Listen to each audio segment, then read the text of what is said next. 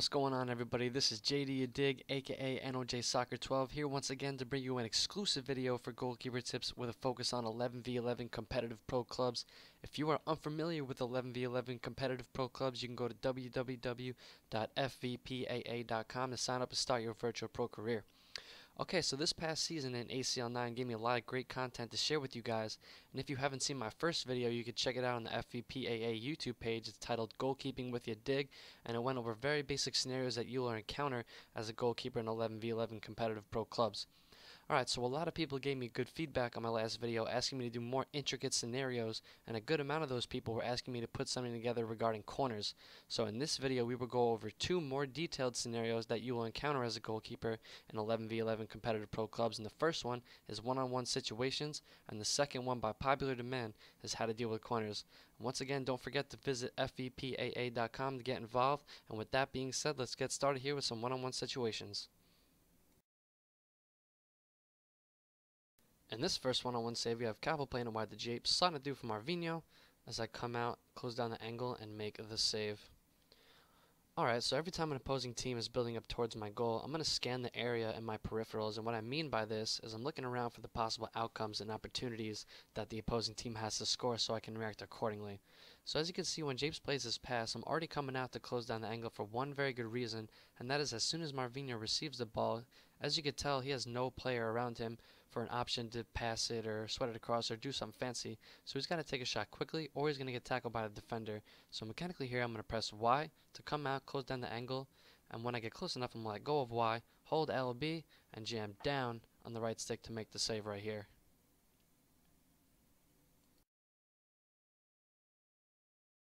In this next one-on-one save in an ACL League match versus Retros, we have Equa DT being played through, trying to fake me out as I come out, close down the angle, and make the save.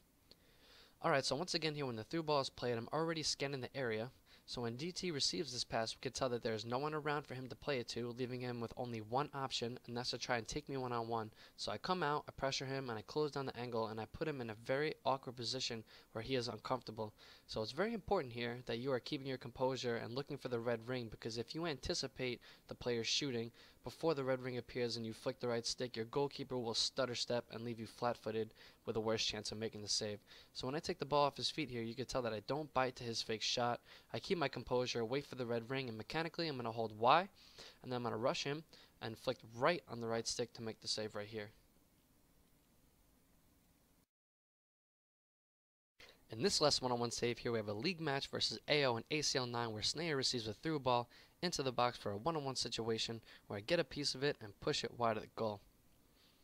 Okay, so as Snayer receives the ball and turns towards goal, I am immediately pressing Y to rush him and close down the angle because I don't want to give him the time of day or the luxury of getting set and having a choice of shot. So the important takeaway here is that your reflexes have to be on point with coming out to rush and closing down the angle. So something that I've learned to do for myself is I hover my right index finger over Y all the time so I have a quicker reaction time if I need to come out and pressure in situations like this. The reason I do this is because as Snayer turns towards goal, he pushes the ball in front of his player, diminishing his control of the ball. So that's the exact moment that you want to come out and close the angle because it gives you the best chance of saving it. So as soon as I see him turn, I press Y, and as he takes a shot, I'm going to flick the right stick to the right to make the save right here.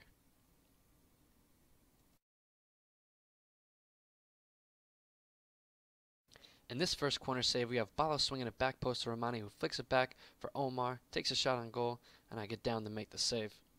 Alright, so in every corner situation when the ball gets played in, I'm going to judge the trajectory of the ball to determine whether or not I should come out.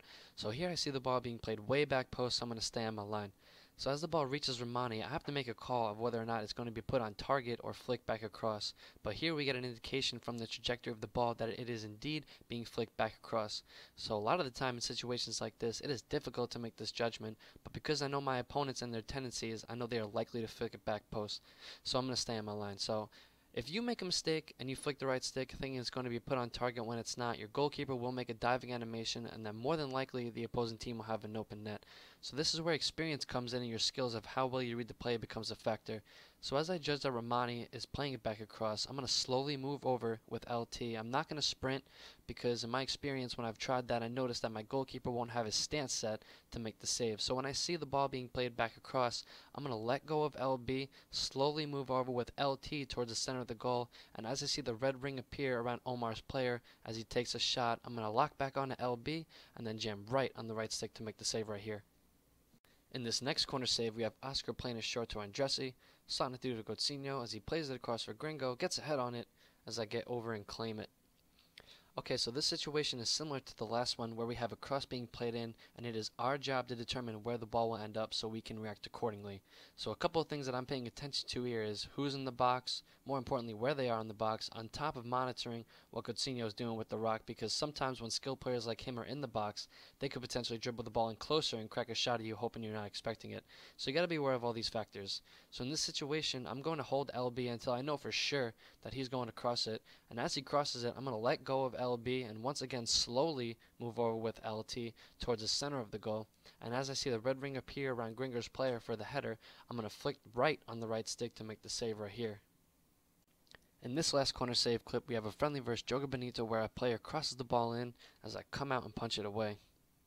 Alright, so the reason I come out here and not in previous clips is because once again, prior to the corner being taken, I'm scanning the area to see who could potentially receive the ball.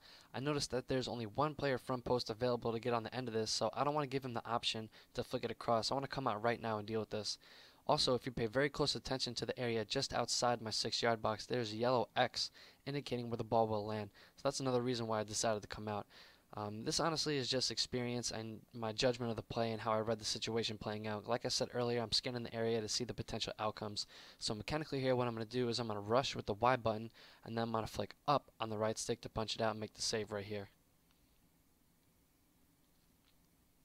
Thank you guys so much again for checking this out. If you have some material you would like to see me cover, drop a comment on the video. And as always, this wouldn't be a Ya Dig special unless I had a montage of me locking people up. So enjoy that and don't forget to go to fvpaa.com. I'll catch you guys later.